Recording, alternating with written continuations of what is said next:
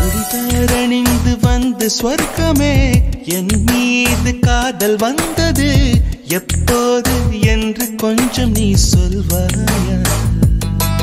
நீ சொல்வாயா?